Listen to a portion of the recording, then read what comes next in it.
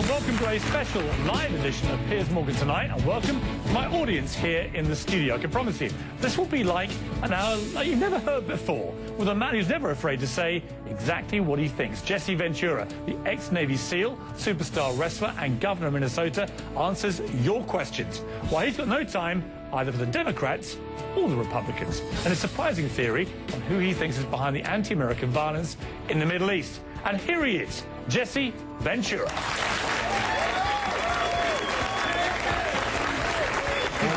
Good to see you. Good to Thank see you. you. Thank you. Thank you.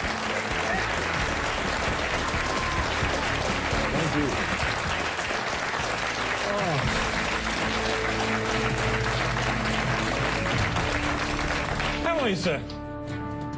Wait, I got to get some water. I got to get ready for you. I'm doing good, Piers. We are, we've got an hour ahead of us. We'll cover lots of ground. I want to start, though, with the breaking news today, the controversial and apparently secretly taped video of Mitt Romney at a private fundraiser. The person responsible wants to remain anonymous, but New York Magazine reports it was passed along by former President Jimmy Carter's grandson, James Carter IV. CNN has not been able to independently verify the authenticity of the recordings, but let's take a listen.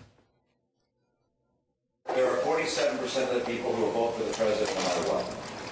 All right, there are 47% who are with him, who are dependent upon government, who believe that, that they are victims, who believe that government has a responsibility to care for them, who believe that they're entitled to health care, to food, to housing, to you name it. But that's it's an entitlement, and government should give it to them. And they will vote for this president no matter what. These are people who pay no income tax.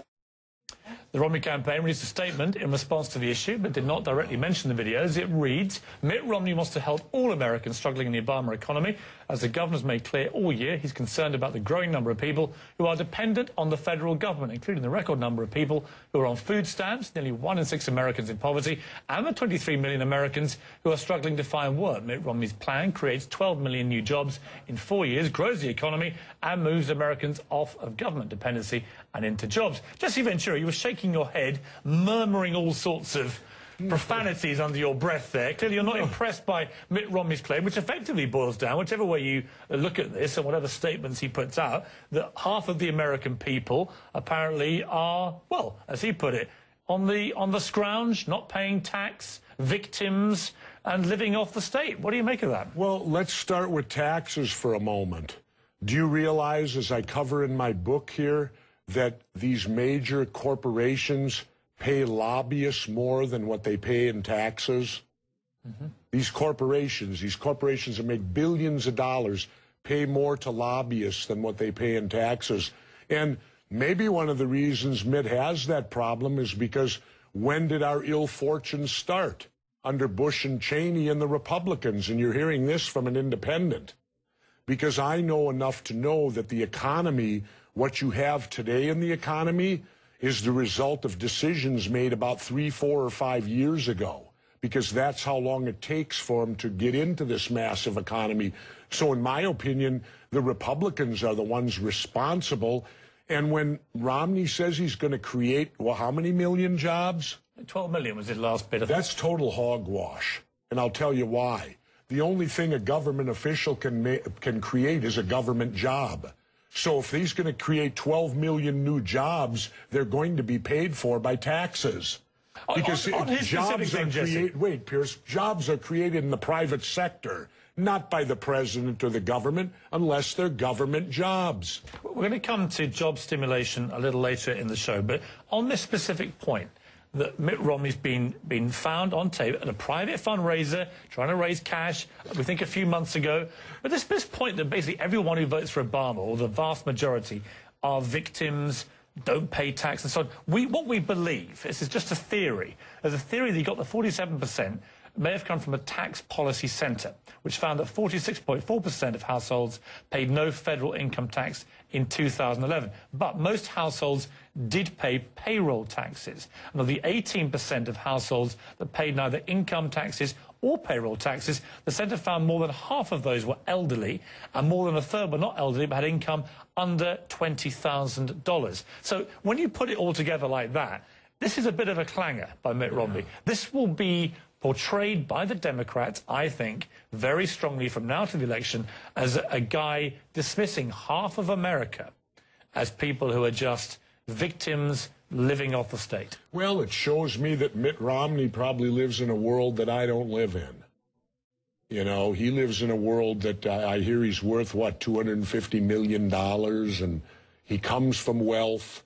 And most people I find that are born with that kind of money truly don't know what it's like to be out there. I mean, you know, I remember when I started years ago on my pro wrestling career when I'd just gotten out of the United States Navy. I left with a beat up car and 250 bucks, and that's all I had to my name when I went off to start my pro wrestling career. There's a statement from the Obama campaign just been released. It says it's shocking that a candidate for president of the United States would go behind closed doors and declare to a group of wealthy donors that half the American people view themselves as victims entitled to handouts and are unwilling to take personal responsibility for their lives. It's hard to serve as president for all Americans when you've disdainfully written off half the nation. I mean, they've got a point. I, I think it's an embarrassing thing for Mitt Romney, however he tries to spin this. Well, it seems Mitt Romney lately has been saying a lot of embarrassing things, you know, and, and uh, he's certainly not going to endear yourself to 47% of the country. And I would think it's going to be quite hard to win. But maybe their plan is that they got these new voter registration laws to where they can deny 45% of the country of the ability to vote. you know, maybe that's their ultimate plan is to only get to half the country and let only half the country vote in the first place. Because on that note, this whole thing's a farce. Voter fraud is a complete red flag. Mm. There, there's about as much voter fraud in this country as there is people being struck by lightning bolts. I know that from a governor standpoint. Voter fraud is nothing, and yet they're trying to give everybody an ID card poor people would have to pay 35 bucks to go get a state ID. Well, if you're that poor, $35 might be the difference between whether you eat that day or not. Well, what do you think a person's going to do? They're going to go get food if it's that. And I think the pathetic thing is that our country is in this kind of shape, and who's responsible? These two major parties. They've been in charge for 150 years. Mitt, Romney's had a, a, rough week because of the, the Benghazi uh, incident in which he was deemed by most people, including many on his own uh, side, to have jumped in with a critical statement of, of, the president, really without knowing all the facts, and turning it into a political football when most people thought that was the wrong thing to be doing. Oh, I agree. As an American politician at that time. Well, absolutely. When our country's attacked in any way, shape, or form, we need to pull together. We need to come together, not separate at that point. I mean, uh, you want my what I would do over there? I would do what the pinnacle of the Republican Party, the hero, whatever of modern day, Ronald Reagan did. Do you recall when our back in the 80s when the barracks in Lebanon was hit yeah. and over 200 Marines were killed? Did Ronald Reagan go to war? No, he got us the hell out of there. And that's where I stand on this. If these people don't want us over there, let's close our embassies. I stand with Ron Paul. Let's get rid of foreign aid altogether. Because as Ron Paul put it, the definition of foreign aid, that's taking from America's poor and giving it to another country's rich. Yeah, but hang on, hang on, Jesse. Wait a minute. Wait, no, wait, you wait, you wait a minute. It's wait, my show. Wait, you wait a minute. Hey, Hey, Let me just challenge I'm talking. you. I'm challenging you because right. I think that is taking one extreme and going to the other. It may well be that America has too many embassies, has too much say in too many countries. We're also broke. It's, that's, of course, you're not the only How country. How can we give to foreign aid? You're not the aid? only country that's broke in the world well, right yeah, now. We're giving foreign aid on a basic term for you people. That would be the equivalent. You're losing your house. You're three payments behind on your car, but you're cousin Bob from out of state needs to borrow 500 bucks from you. Are you going to send it? Well, when you can't even make your own house yeah, payments, Jesse, America, we're broke. How in debt are we? Well, you're certainly not as broke as many countries around the world. Well, if they're worse and in more debt than us, I want to see a country that can America, say they have more America debt than we do. America remains a superpower, and sure America we are. and all superpowers, I believe, have a responsibility to other countries around the world. Now, it may not be responsible. Really? No. You I don't think America should have any involvement in any country in the world? Sure, we can have involvement if they ask us. Since when should we be the world's policemen? Why do we have military bases in 160 some countries? We have no no foreign country has a base here. Imagine if Hugo Chavez decided to buy a thousand acres of land by Palm Springs and move the Venezuelan military in there. What, what do you think our reaction would be to that? Yet we, we have multiple bases in Korea, multiple bases in Japan, multiple bases in Germany. And Piers, last time I checked, those wars were over 60 years ago. Why are we still there? Well, the argument would be to prevent another war of that nature. why, why would you laugh at that? Isn't there a reality that because there are our, lots of people out there because who our like uh, military to harm, today, harm America and its interests? Our military today is so advanced, we can be anywhere in the world in a matter of seconds. Minutes or hours. We do not need to be an empire like Rome occupying with our military throughout the world. And if you notice, I'm getting nothing but nods out here, Piers. Do you think from America regular would be American safer? cities. Would America sure be we'd safer be safe. without Who's- any embassies in any country? I'm not saying to get necessarily to get rid of embassies. Absolutely have embassies. But if these Middle Eastern countries are going to behave towards us the way they do, then let's get the hell out of there and leave them to their own. You got to remember something. I urge people to read the writings of Major General Smedley Butler. General Butler died in the early 40s, but he was the most decorated Marine in history. He won two Congressional Medals of Honor, and he wrote a book called War is a Racket. And in that book, and this was way at the beginning of last century, he said, I didn't defend the American people's freedom. I worked for the United Fruit Corporation. When they went into Central and South America, if they didn't get cooperation, they'd send in the U.S. Marines to get it." yeah, but that wasn't true. Enough of that. Yeah, but that wasn't true about the Second World War, was it?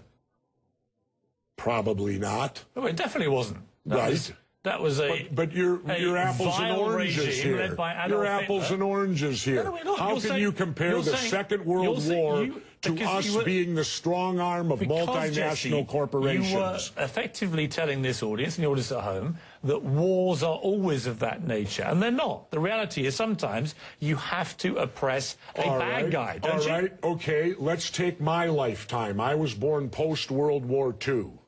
1951. Mm-hmm. Now, if you count the Cold War and the war on drugs, which the war on drugs is a war, I lived four months of the year in Mexico. 20,000 Mexicans, I believe, died last year as a result of the war on drugs. Do you realize we've been at war my entire life?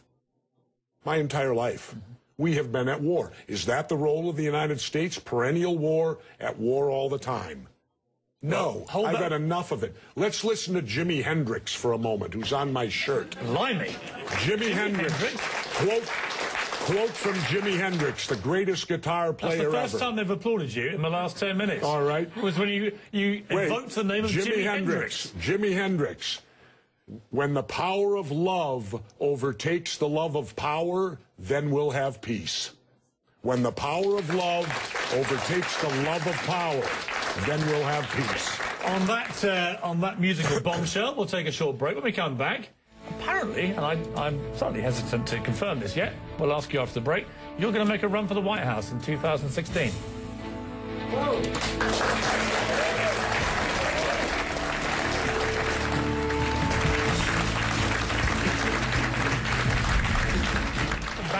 with me now is Jesse Ventura. The new book is Demo Crips and Rebloodicans, No More Gangs in Government. We'll be live along with our studio audience. Uh, Here's the thing, you can flip this round. Everyone's having a laugh at Mitt Romney's expense, and they're all saying Obama's stretching ahead in the polls and so on. But the reality is Barack Obama's been there four years. Unemployment remains at an incredibly unacceptable uh, figure of over 8%. You've got lots of people suffering, losing homes, jobs, livelihoods. Why should he get another four years? Well, because they- However, however many gaffes Mitt Romney may be making, Yeah. he is a very experienced, successful businessman. Yeah. Could he not do a better job? Well, first of all, they, they posed the question, are you better off today than you were four years ago? I would say yes. George Bush and Dick Cheney are gone. So no matter what, we're better off today than we were four years You ago. could rephrase, wait, let's No, but let's rephrase something. the question and see how the audience react. How many of this audience personally, financially, feel genuinely better off after four years? If you do, applaud. Okay. And if you if you don't, applaud now. So, you know, it's probably about 50-50. So half No, of this... I, I got that at about 70 30. Let's split it at 60-40. All right. I'll Maybe compromise. 60-40. Uh, but whatever it was, certainly a number of people in the room Okay. would agree they're not better off. Okay, but let's get to brass tacks here. And again, I'm the independent. In the economy, things that are done three, four, five years ago show up today. So when the recession of 08 hit, which Barack Obama inherited, Bush did the first bailout. That was because it hit in 08 because of decisions done in 03, 04, when you had a Republican president, a Republican House, and a Republican Senate. George, why, why at the Republican convention, and I ask you this question, why wasn't George Bush allowed to speak, Dick Cheney allowed to speak? Because they just left office three and a half years ago after serving eight years. That's unconscionable that they weren't there. Why? The Republicans don't want anyone to remember who caused all this. I said to my wife, at the, wait, at the 08 election, I said to my wife, you know, I wouldn't want it, you couldn't pay me to be the next president any amount of money because whomever it is is going to get the blame for all of what George Bush and Dick Cheney did. Well- and that's precisely what you got to do. Now, has Obama fixed it? No, he has not. But is is Mitt Romney the answer, going back to the old Republican ways that caused it in the first place? Americans have very short attention spans. They usually can only remember about a year ago. They need to remember about four, five, listen. six years ago of who caused this. Let's go to uh, our first audience member question, Derek Whitecare. Now, Derek, you got a question. On the basis there are rumours still flying around that this gentleman may run for office in 2016. What is your question? Well, first, Governor, uh, how you doing? Good. I'd like to uh, thank you for having the guts to uh, serve in our armed forces. I think a lot of uh, politicians and so-called statesmen ought to take a page out of your book. Well, it's not a requirement. You know, no, let's be fair. It, it's not a requirement to serve in the military, to be the commander in chief, because he's a civilian. Maybe it's good for a little of experience having done it, but it is not a requirement. The Constitution doesn't say you have to. Anyway, we're not here to call you a hero. Let's have my question. Go- Governor, my question is, um, if you were to run as uh, as independent, completely unaffiliated from any political party whatsoever, do you feel that that would help or hinder your ability to ultimately gain ballot access in all 50 states? Oh, it'll require you, the people, to do it for me. But you know what? I need to see that. I need to see the American people rise up before I'm going to put my butt on the line again. When will And you the put your only butt way- on the line? And the only way that'll Jesse? happen, two criterias must happen. There must be, and I also abhor this ridiculous spending that they do to get elected. It's obscene. It's obscene. And I and I can say that because I think I, I can say that because when I ran for governor of Minnesota, I spent less money to get the job than what I made doing the job. I don't think there's an elected official that can make that statement in the last 50 years. I only raised $300,000 to become the governor of Minnesota. The Democrats and Republicans in the same race spent a combined 12 million, and that was back in 98. So, Jesse, will you be running or not in I don't know. 2016? I, I, I need to be I need to have ballot access in all 50 states, and I need some type of guarantee that I will be allowed in the debates because you cannot win if they won't let you debate. But if you can debate, you can win. Because in Minnesota at the primary, I was only polling between 8 to 10 percent. I was allowed in the debates. Seven weeks later, I was the governor of Minnesota. You know, they always say, Piers, in the private sector, competition's good, right? Mm-hmm. Isn't that what we always hear? Well, how come competition isn't good for president? Why has it been 20 years since we've seen any third voice in a presidential debate? Because these two parties will, they make the rules and they will not let anyone else win. So I would require huge help from you, the people, because if I do run, and I and, and I run to win, I would be the first president elected in this country that would belong to no political party since George Washington, the father of our country. Well, I would, uh, I would love to see you in one of those debates, actually, Jesse. But after the break, we're going to talk to you about Osama bin Laden and whether a Navy SEAL should be allowed to tell his story as one of the uh, SEAL Team 6 has now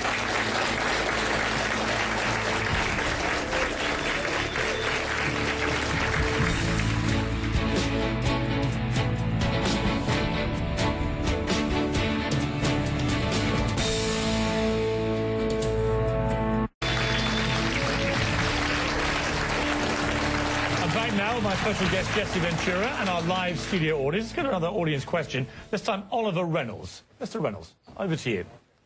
Good afternoon, Mr. Ventura. Hi.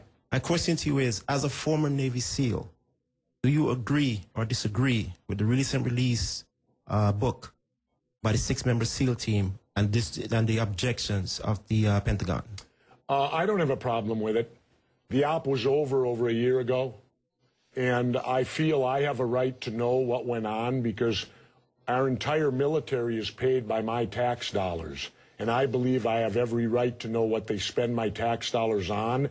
And I also would like to hear from boots on the ground. I don't want to hear from the media what happened in the op.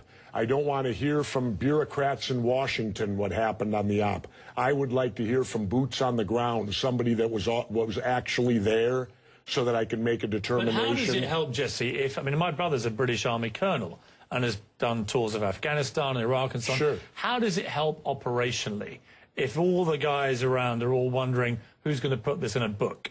I mean, surely Well- they all sign up, don't they, to not write about their experiences? Well, he's out now. He's a civilian now, and uh, I, I just, you know, to me, he has the First Amendment rights, or he should have them. Uh, if he's not giving away anything that's listed under national security or that could affect anyone in the future operations, I say why not? Like I said, I'd like to hear from boots on the ground what actually happened there, not some fragmented story that comes out of Washington telling me what happened. So I, I don't have. And besides, you, the media, and the SEALs themselves have allowed themselves to become like the Green Berets in the 60s and 70s now. I don't like the fact that you even know we exist because back in the 60s and 70s, nobody even knew who we were. Well, that's out of the bag now. Hollywood's made plenty of films. You've had my friend Dick Marcinko, who created SEAL Team 6. Mm. He's written a half a dozen books. So if the creator of SEAL Team 6 can write books about what they do, what the heck? If he if he doesn't put in jeopardy anyone, why why is our government so up in arms about that he does this? What we're all agreed on is that the death of Osama bin Laden was a good thing. But, but be honest, is America any safer now than it was when he was killed? Or from all we're seeing now in the Middle East, all the uprisings, all the kind of reverse Arab Spring, if you like, are you concerned that it may be a hornet's nest that's getting out of control? No, because I think that lots of times these uprisings are orchestrated. I believe I believe in the works of Colonel L. Fletcher Prouty when he said nothing just happens, everything is planned. I truly believe that. And so these uprisings that are happening right now, we don't know really who's behind them. They could be our own CIA Did we know- helping to do it. Right, well, Who knows? Did we know who we were backing? I mean, that's one of the key questions. Backing at what? Well, in Libya, in Egypt, I have no you know, idea. all these countries. When you uh, when you oppose a Mubarak or a Gaddafi or so on, did we really know who these rebels were? And are we now perhaps Well- seeing the, the results of not knowing too well who they are. we're here wanting to give democracy that peop- to people who have lived, in my opinion, in the Stone Age. I think the bigger question to ask is here we go, another religious war. Because most every war that happens on this planet is due to the fact of religion. One religion doesn't like the way another religion worships God, so we're going to kill you. I love religion, you know, and I say that sarcastically. Hang on, I thought I thought And I say that because I've, op- I I've thought- openly admitted I'm an atheist. I thought you said earlier that all wars were about you know oil and, and corporations. They are, but they're all religious based too. So they're all about religion and oil and corporations. Could be, And sure. occasionally getting rid of the Nazis. Yeah. So my point is well, the wars Nazi, can be wait, the can be over wait, many wait. The Nazis was religious too. Look what they did to the Jews. So that brought religion in. Vietnam was religious because Diem, our puppet president, and our country brought a hundred Christian Vietnamese down to the south to be the government. Well, the southern Vietnamese didn't like these religious characters from up north, so they then became the Viet Cong.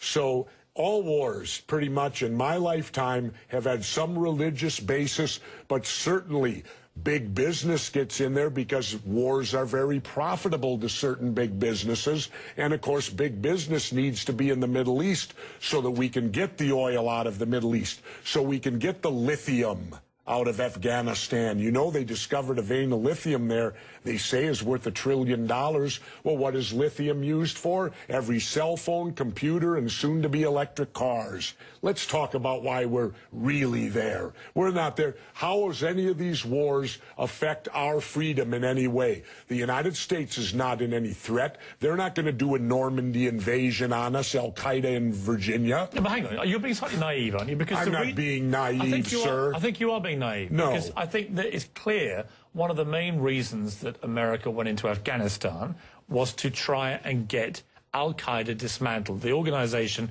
which committed the 9 11 atrocity. Really? Well, you don't think so? Well, how come Al Qaeda put the heroin business out? They took all the poppy growers and stopped the production of heroin. What would you have done? Wait, now how much of that illegal heroin was propping up the international banks with laundered money? And when it dried up, the first recession happened. Well, now that we're back in there, we aligned with the poppy growers and the heroin business is back up full swing again. what I thought we fight a war on drugs here. All right, Jesse, what Seems would, we're not. What would you have done on September the 12th, 2001? What would you have done if you'd been president?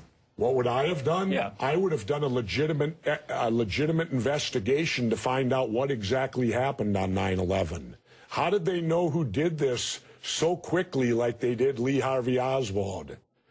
How quick they knew Lee Harvey Oswald killed because, Kennedy. because the people who did it were identified and we knew who they were. Well, then why couldn't we have stopped them beforehand if they were identified and we knew who It they were? It was a failure of intelligence. Everyone's accepted No, it that. wasn't. We knew before with Condoleezza Rice's memo on August 6th when it stated right in the memo bin Laden to steal planes and run them into buildings. And more stuff is coming out now also, how much the Bush administration ignored the intelligence. It was almost like they ignored it because they wanted it to happen. Oh, come off it, Jesse. No, not oh, come off it. That'd be ridiculous. Every, wait a minute. Every war No, no, fought no, starts with a false flag operation. can't, in all seriousness, sit there and try and make out anybody. How, okay, let me ask you this, Piers. Wait a minute. Let It's me wait, wait. thing to say. Let me ask you something. How many, how much studying have you actually done of 9/11, other than what what the government's told you and what mainstream media has told actually. you? I was editor, I've been studying it I was editor years. of a national newspaper. I've- I've talked to covered people- it wait a in minute. depth every day for Really? five, six months. Really? So I know a lot about it. Well, one thing how I do come? know is let me ask you this you then. cannot say that any member of the Bush administration knew it was going to happen or wanted it to happen. It's a ridiculous thing to say. Ridiculous. Okay, let's talk about your BBC. I have a tape of a BBC reporter broadcasting directly back to England talking about a third building has collapsed. World Trade Center Building 7 talks for 20, seven minutes.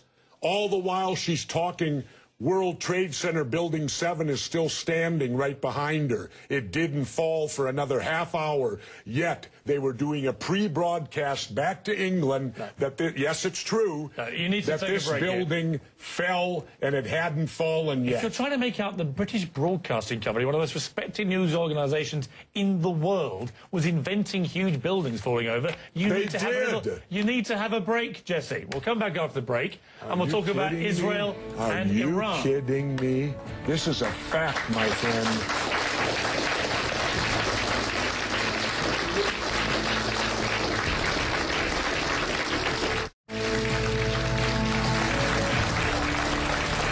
With Jesse Ventura live, along with our studio audience. We left uh, a fairly heated debate about various theories that you have about 9/11 and so on. Let's move on to Oh, and the government only has a theory.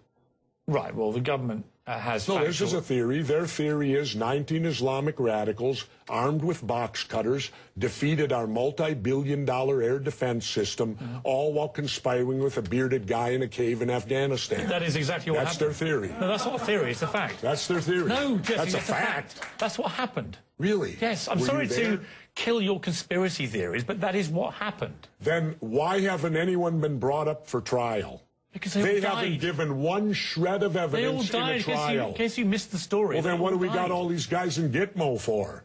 And we got the supposed confessor to it, who they waterboarded 180 times to get the confession. Got news for you, Piers. If they waterboarded you 180 times, you'd confess to You it. see, now you're, you're missing the point. On that very point, I don't agree with Guantanamo Bay. I didn't agree with the waterboarding, personally. Let's move on. Let's move on right. to uh, Iran and Israel. If you were the American president, with all the jungle drums beating now about Iran, would you take any military action? Well, first, let me state that Iran has to do this. Because if you notice, the United States doesn't mess with any country that's got nuclear capabilities. They only mess with countries that don't. So all countries that don't have it strive to get it because it's a safety mechanism to have it. So of course Iran is going to try to get the Should stuff. Should they be allowed to have them? Should they be allowed to? I don't know. Well, yes or no? I don't know. You're a man of opinions. No, I don't. I, I, I, You may be I- running for office. I'm- entitled to know what you think. Not right now. You don't. I need to study it more. very I need convenient. to look. Yes, it is very So convenient. you know about everything that happened before 9-11, but right now when you have Iran potentially nuking itself up, you don't have an opinion. Well, let's leave that up to the nuclear inspectors that go in there. They will tell us whether they're nuking it up before you decide to bomb them. I didn't decide to bomb anybody. No, but you seem to be very favourable. You're trying to favorable put words to into my mouth all the time, which is it's, it's not a very good technique when you're debating with somebody. Just, just stick You're to going. facts. To, well, how many political offices have you held? Uh, none. Then don't tell me how to debate because I've held two. Oh, I've debated many times. But you've never won. You've never won an election where a debate I was required. I think you make some very sensible points, and you make some crackpot points. That's your opinion. Yes. How many people here think I make crackpot points? Yeah. One. How many think I make sensible points? You're in a minority, my good friend. You're the minority. Let's. I said you made some sensible points. Let's go to another, another audience question from Jared uh, Grossman. Ask your question, Jared. Hello, Governor. Yes. I'd like to know why you think that politics in America today, why has it become so polarized and why has it become so hate driven? And how do you think we can fix that? Well, uh, politics in America, the problem, the major problem is the Democrats and Republicans, as I explain in my book, DemoCRIPS and ReBLOODlicans, No More Gangs in Government, um, they've created a system based completely on bribery. Now, if we do bribery, it's hypocrisy. If we do bribery in the private sector, we go to jail. Yet their entire political system is based upon bribery. Who can bribe and give the most money to the politician? And now, thanks to our illustrious Supreme Court that ruled that corporations have the same rights as individuals and that money is free speech, well, we're now being inundated with so much money from the corporations buying the Democrats and Republicans, both sides, that uh, look at this hypothetically. A foreign country could now control our elections because all they would have to do is form a corporation, start pumping money into the super PACs, plus there's no, uh, you don't, they don't have to say where the money comes from, which is criminal. Every every candidate should have to state openly, open disclosure, where they get every dollar. You're not getting that now. So the whole system is corrupted now. The Democrats and Republicans are at fault because they've been in charge for 150 years. They can't pass the buck on it.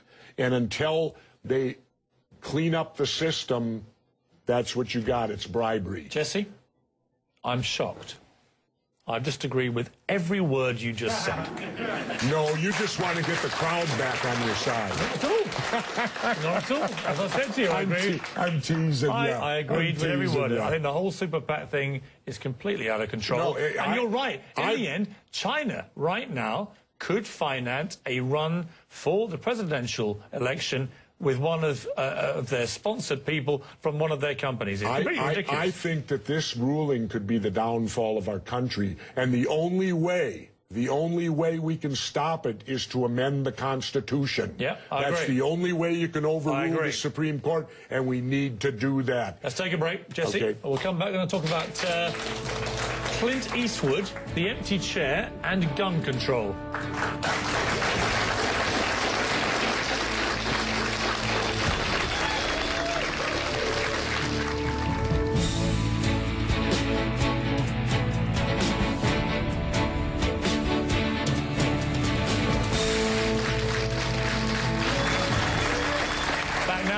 Ventura and our live studio audience. Gun control. This is something I've been very animated about uh, Yeah. all this year with all the various gun outrages, especially Yeah. the uh, appalling thing at the cinema in, in, uh, in Colorado. Yeah. Why is it that Americans, to me it seems, so many Americans cannot divorce their right to defend themselves with a gun to the apparent right to go and buy 6,000 rounds of ammunition, high-powered assault weapons, and go and murder Americans? Well, the best thing I can tell you, Piers, is this. Mexico has strict gun control. You cannot own a gun in Mexico. And they had 20,000 people dead last year in the drug cartel wars. But Mexico has a very particular problem involving drugs. I can Right. cite you Britain. All right. Average. Well, let me just throw it back at you. In Britain, for example, an average of 35 people a year are murdered with guns. In Germany, it's about 40 to 50. France, the same. Spain, the same. Italy, there's a pattern here. America, 11 to 12,000 a year. Yeah. This country has more guns than anybody else Yep. and more gun murders. yeah. It, it's inarguable, isn't it? No, not It at is. all. It is. Because because I was in the Philippines physically the day Ferdinand Marcos declared martial law and made himself a dictator. And the first thing that dictator did, he gave the people of the Philippines two weeks to turn in all their guns or it was the death penalty. Now, why would a dictator do that? Why would he make his number one priority when he took over as dictator to disarm the public? The Second Amendment is there so, and it was ma- put in there not for hunting and fishing like they like to say, because back when they did it, if you didn't hunt or fish, you didn't eat. It was put in there so the citizens would have the ability, if their government became oppressive, they could defend themselves against oppressive government. And I think that overrules all the gun deaths because let's remember something. A gun is simply a tool. I have a gun safe at home, and I've never come home and heard those guns going off on their own. People kill people. All right, how many people here die because of car accidents of drunk driving? Do we go to the Ford Motor Company and tell them stop making these automobiles because people get drunk and kill people It's in a, it's a cars? facile argument.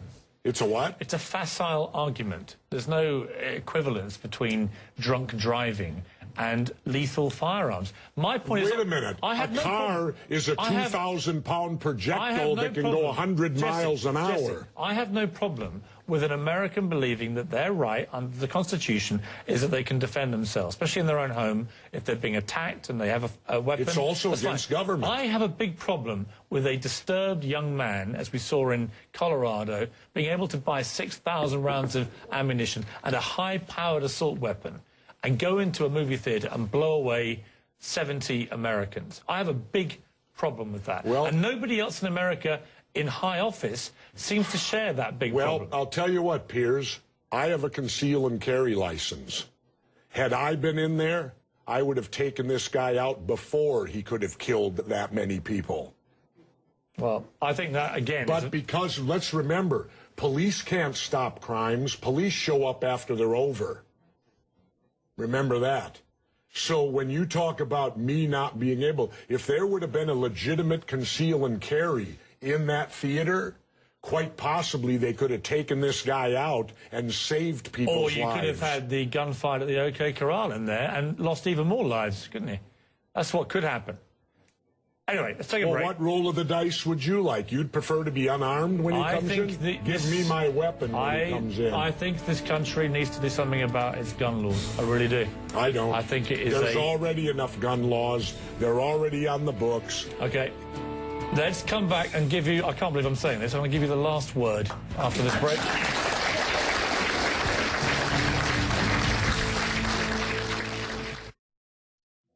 Back with my special guest, Jesse Ventura, my studio audience. Twitter's gone crazy tonight, rather appropriately. I like this one from Buffalo Jimmy Z, or Z. He says the moon landing was faked. Apollo 11 landed on Jesse Ventura's bald head. Now, Jesse, you, as usual, you stirred it all up. How do you want to leave this? You've got about 30 seconds to give me a final I, thought. I promised a dear friend of mine that I'd make this statement too tonight. Republicans are not a political party, it's a mental condition. a, a good friend of mine wanted me to make sure I said that tonight, Well, so I got it out there. You have been, as always, extremely provocative, entertaining, slightly crackers, uh, but it's always good fun to have you. Audience, to thank my guest. Thank you. Appreciate it very much. Appreciate it. Thank you. Thank you.